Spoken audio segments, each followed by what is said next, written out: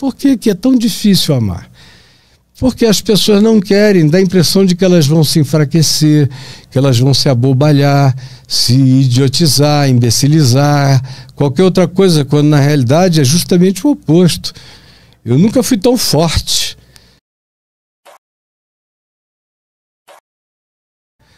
O mundo está reconciliado com Deus, as pessoas é que não sabem ou não querem viver foi a primeira pergunta antes de começarmos a gravar que você fez, né? Por que, que é tão difícil amar?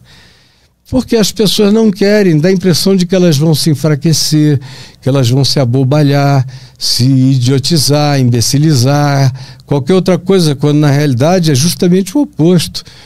Eu nunca fui tão forte, tanto mais quanto o amor cresce em mim.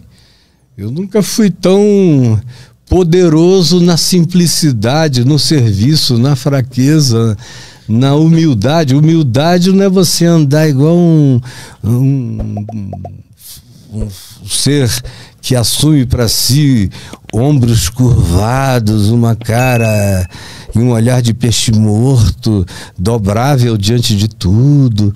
Não. Humildade é o poder de não parar de aprender é ensinabilidade. O ser humilde é o cara que está sempre aberto para aprender e para dar razão à verdade.